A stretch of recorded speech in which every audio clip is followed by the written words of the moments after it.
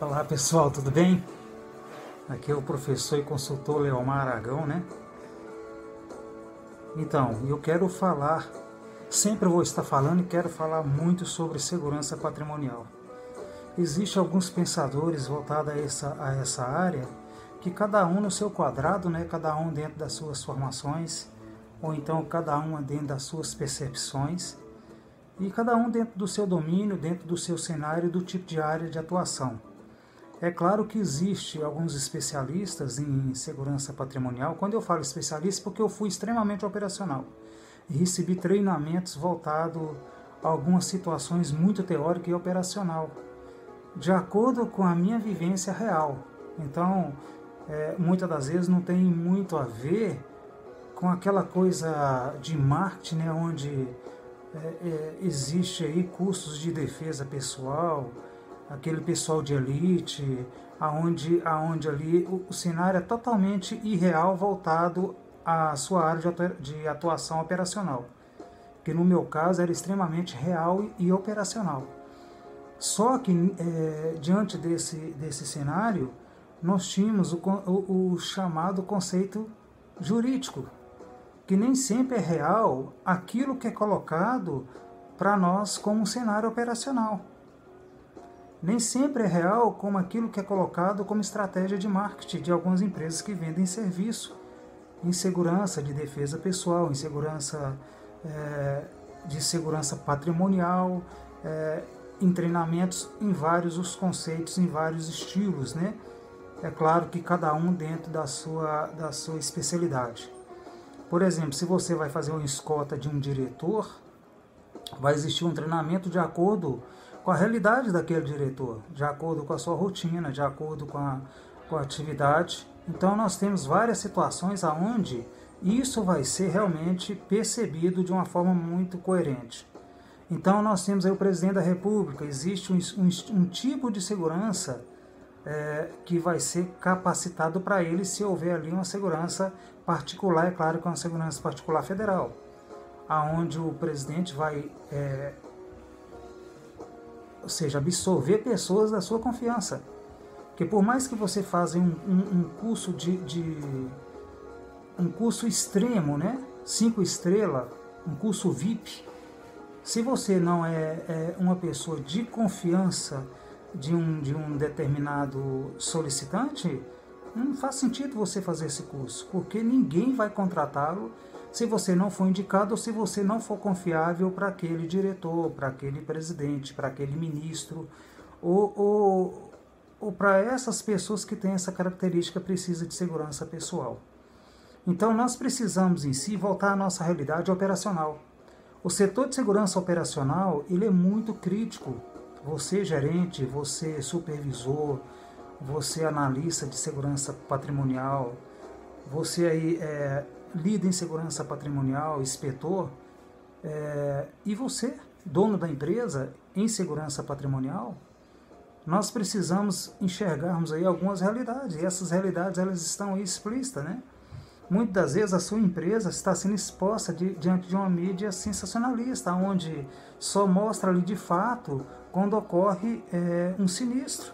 E normalmente um sinistro onde expõe ali a sua empresa, o seu vigilante, é, sem autorização alguma da sua empresa para postagem de alguma determinada imagem.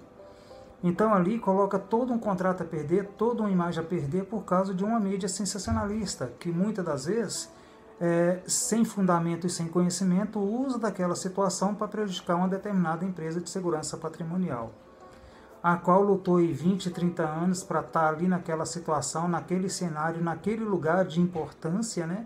E a mídia vem simplesmente em segundos coloca tudo a perder.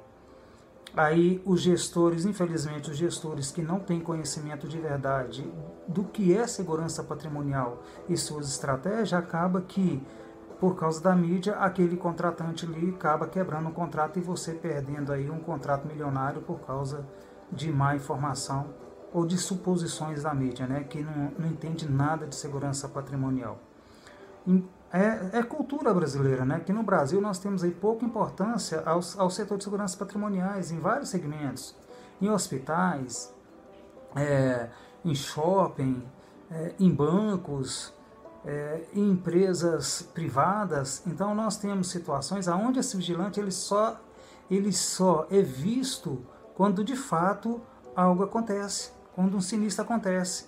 Enquanto isso ele só é gasto. Então, muitas das, das, das empresas contratantes têm, têm um pensamento é, é, errôneo, né? É, voltado a esse cenário em segurança patrimonial. É, quanto mais ele puder enxugar custo, ele vai enxugar porque não está acontecendo nada. Se não está acontecendo nada, é porque você, gestor, você, a sua empresa, está fazendo o seu papel de segurança patrimonial. Você está cercando aquilo que precisa ser cercado diante de, de, de uma proposta contratual. Se você está cuidando de um bem patrimonial, você está garantindo que aquele bem patrimonial e físico, né, de pessoas físicas também, é, você está cumprindo com o seu papel como gestor, como gerente, uh, ou, ou, até mesmo como proprietário desta empresa. Então, infelizmente, tem essa, essa percepção errada de que o setor de segurança patrimonial é um desperdício, é um dinheiro mal gasto, é um dinheiro mal investido, é isso e aquilo, e acaba que costumam se contratar empresas, às vezes nem regulamentadas é, ou autorizadas pela Polícia Federal, acaba contratando empresas de fundo de quintal. Né? Então, é, precisa se mudar, mudar muitos os conceitos voltados ao setor de segurança patrimonial. Por quê? Porque são muitos os riscos e perigos que ameaçam constantemente o seu contrato. Esses riscos são iminentes por causa do crescimento da criminalidade. E nos dias atuais, eles vêm se aperfeiçoando cada vez mais. Eu já falei várias e várias vezes e vou continuar falando sobre isso. Porque é, eu tento entender e não consigo entender por que, que a mídia, ou então por que há tanta exposição de crime é, postado em circuitos fechados de televisão. Muitas das vezes, um balanço geral da vida, é, da Atena, ou, ou, vários programas mostram ali, de fato, um assalto. Isso é feio para a empresa que fez o investimento, ou então ela não treinou aquele empresariado ou aquele cliente para lidar com essa situação de forma preventiva. Por que aconteceu aquele assalto? Aquela câmara, aquele circuito fechado, por mais que ali não tenha um segurança, uma segurança física, aquele circuito fechado, por que, que ele, ele só mostrou o sinistro e, e, o, e o bandido fugiu e nada aconteceu? Então existiu ali um contrato errado, um contrato mal feito, aonde a empresa de circuito fechado, né, de televisão que é CFTV, essas empresas especializadas é, em informatização, ela preocupou somente de colocar ali sua câmera, pronto, acabou. Não deu uma continuidade de melhoria contínua e, e, e, ali de beneficiar o cliente. E o cliente muitas das vezes, não, vou pagar por, por esse pacote, pronto, acabou. Porque eu não quero mais. Então acaba que ele consegue convencendo o, o, a pessoa que está sendo contratada e você acaba queimando a sua empresa quando cai em rede nacional uma situação dessa. Então, o CFTV, o Circuito Fechado de Televisão, ele foi feito de forma preventiva. Então, por que que muitos empresários colocam, colocam um sistema de circuito fechado somente na onde vai acontecer o sinistro? Por que que não, não coloca isso de forma preventiva do lado de fora? Por que, que na hora que está acontecendo o sinistro não tem um operador de CFTV para de imediato acionar a polícia? Ou então por que, que aquele sistema não está, não está interligado a alguém de confiança daquela empresa, daquela, daquele comércio ou daquele lugar onde está sendo monitorado. Por que, que você aceita isso? Por que, que você se expõe tanto, sendo que o seu contrato pode ser colocado a perder por causa de situações como esta? Por falta de elaboração de um contrato eficaz. E você, como gerente, você, como supervisor, você, como técnico operacional, precisa falar a verdade para o seu gestor majoritário ou para o sócio, ou para o empresário que está fazendo esse investimento, dono daquela empresa. Ó, nós temos essas condicionantes aqui, mas isso pode acontecer, isso, isso, isso, nós podemos queimar a nossa empresa.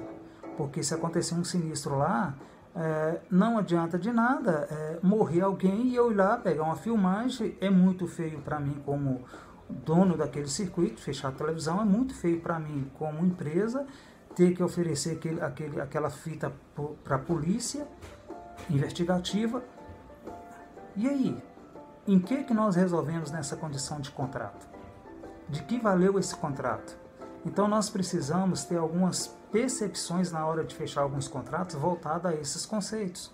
Vigilante, vigilante quando ele é treinado, quando ele é capacitado, moralmente, intelectualmente, ele foi, ele foi real, realmente avaliado. Você olhou o histórico desse vigilante? Como muito bem a polícia faz na hora de um concurso, passa por algumas etapas que não é constrangedor isso. Porque, enfim, você está colocando é, um patrimônio na mão de uma pessoa, onde você extremamente precisa confiar naquele indivíduo, naquele profissional.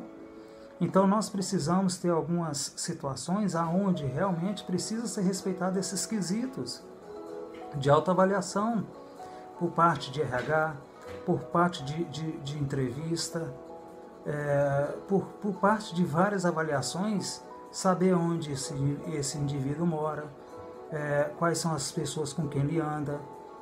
Nós precisamos puxar um histórico desse indivíduo antes dele ser contratado, porque ele pode colocar um contrato milionário a perder. Isso é preconceito? Não, jamais. Isso é, é isso é ser profissional. Isso faz parte de qualquer situação em processo de contratação. É, muitas das vezes, é, os riscos e perigos aí, ele, eles são muitos atuais em situações aonde é, o vigilante precisa ter uma percepção, ou a empresa, é, na hora do seu contrato, de fechar um contrato, ele precisa ter uma percepção é, do cenário onde ele vai atuar, que tipo de, de, de alarme de incêndio que tem naquele local. Qual o tipo de alarme de incêndio? Aonde o meu vigilante, meu vigilante vai atuar? Aonde a minha equipe vai atuar? Aonde o meu supervisor vai atuar? Aonde o meu gestor vai atuar? É, se houver ali algumas explosões, como que nós vamos atuar? Qual vai ser o plano de emergência, o plano de contingência? Como que eu vou saber quem está dentro ou fora daquele recinto, daquele lugar, daquela empresa?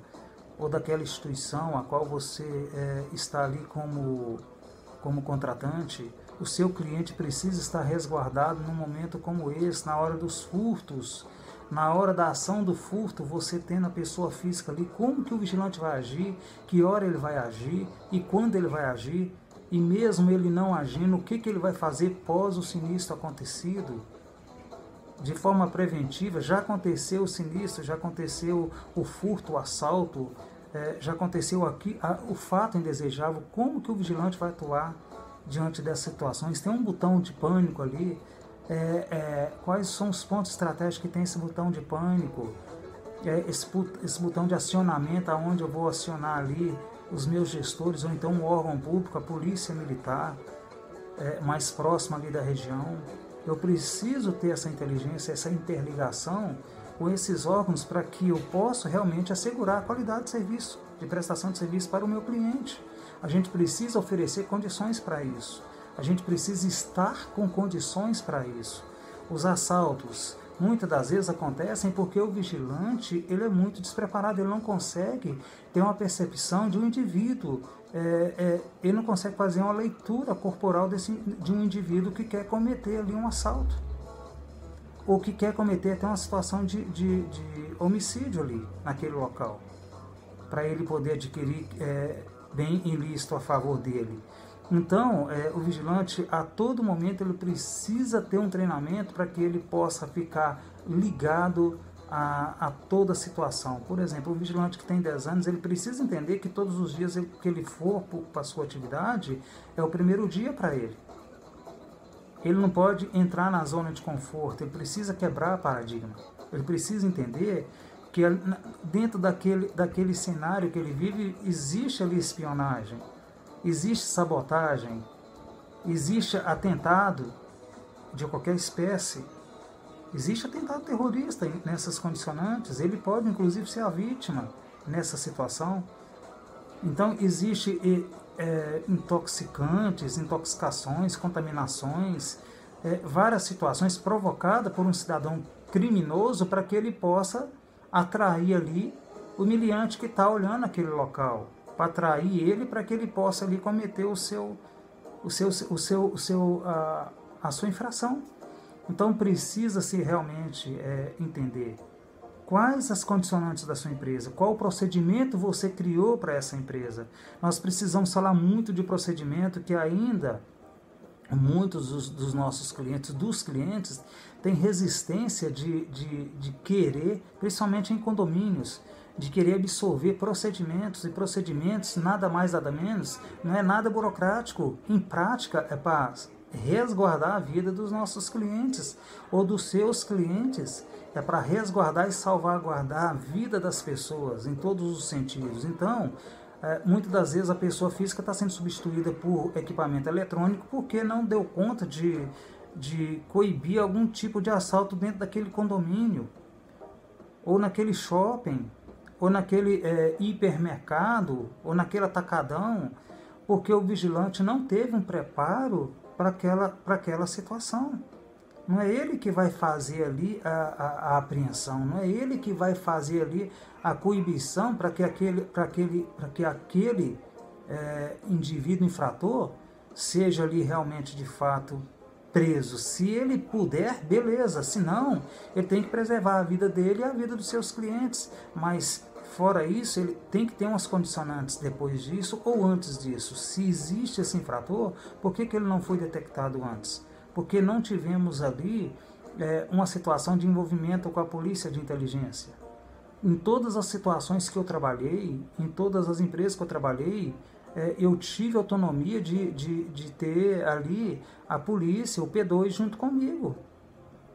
Claro, com, com autorização do comando, do comando do batalhão, eu tive ali a polícia, de vez em quando eu fazia, é, até porque era, era interessante para ela fazer isso, esse tipo de monitoramento fazia aí é, é, essa situação comigo para que eu pudesse ter eficácia dentro do meu contrato, dentro dos meus projetos de segurança daquela instituição, até mesmo da comunidade. Então nós precisamos ter algum tipo de percepções é, voltado a essas situações. Tem situações que, que um cliente qualquer é claro que indicado por um cidadão infrator, ele vai ali, ele, ele absorve ali a, a, a, informação que ele quer daquele vigilante ou daquele, ou daquele gestor, daquele supervisor. É, ele consegue criar habilidades de conversação para que ele possa absorver de você informações sigilosas daquela empresa, daquele ambiente, daquele lugar. Então nós precisamos, você do setor de segurança patrimonial, independente de qual empresa você é, que tipo de formação que você tem, tem que estar atento a essas situações. Tem que estar atento a, a várias situações. Hospitais, por exemplo, rápido de bebê, é o que mais acontece. Sequestros de bebês é o que mais acontece, de pessoas é o que mais acontece. Sequestros de empresários em condomínio é o que mais acontece, porque não tem um controle eficaz voltado àquelas portarias, por se tratar de um cliente que eu não posso incomodar esse cliente não consegue entrar em consenso comigo diante dos procedimentos. A vigilância precisa ficar separada e o cliente na dele, então eu não posso ter ali é, é, uma junção, uma engrenagem voltada a, a todos envolvidos naquele condomínio, naquela empresa né, ou naquele comércio. Então nós precisamos realmente, de fato, ter uma percepção melhor voltada ao setor de segurança patrimonial. A gente vai estar falando sobre isso mais tarde, depois eu vou estar voltando com outros vídeos e pode ter certeza que eu vou muito a fundo sobre as questões de procedimento e plano estratégico de risco, beleza? Pode ter certeza que eu vou estar tocando nesse assunto se for interessante para você, mas você, gestor, você diretor, gerente, é, supervisor, inspetor, seja o que for, fiquem atentos a essas informações, que muitas delas você pode até por falta de humildade ou vaidade falar tudo que esse cara está falando, eu sei, mas tem coisas valiosas que você não sabe, que eu vivi, presenciei e que quero passar isso de forma gratuita para você, para sua empresa, essas minhas experiências, tá bom? Abraço, de bom, fica com Deus, hoje é dia 4 do 11 de 2020, então eu fico, eu sinto muito privilegiado de poder somar e ajudar com a sua empresa em relação a algumas informações vividas e essas operações é, acontecidas diante do meu cenário real na condição de, de ex-vigilantes, de supervisor, na condição de coordenador ou até mesmo na condição é, de um gerente, de gerente como fui de uma empresa de franquia voltado à área de facility, então tenho muita experiência voltada a esses setores. Fiquem atentos que eu tenho certeza que alguma coisinha você vai conseguir agregar de mim. Lembrando que todo o meu conhecimento é dado de Deus. Eu não mereço sequer é, esse tipo esse tipo de ideologia que eu sou. O cara não, não aceita de hipótese nenhuma porque isso é dado de Deus. Se eu sei, é porque Deus me agraciou com essa minha autonomia e com essa minha inteligência dada por Deus. Obrigado, abraço, tudo de bom para você, gestor. Sucesso e coloque em prática tudo que eu estou falando dentro do seu contrato, porque eu tenho certeza que algo de bom vai acontecer. Cuidado é, com o seu cliente na hora de fechar contrato. Ele, ele, ele vai colocar algumas situações onde a sua empresa vai estar vulnerável. Dependendo do seu contrato, você vai colocar a imagem da sua empresa toda a perder, principalmente se for uma empresa grande, corporativa, aonde de uma filmagem aonde de uma de uma de uma empresa é, de marca ela pode colocar o seu trabalho tudo a perder porque a mídia com certeza vai relatar os fatos de forma toda errada toda errônea e aí já foi tá bom? Abraço de bom? Sucesso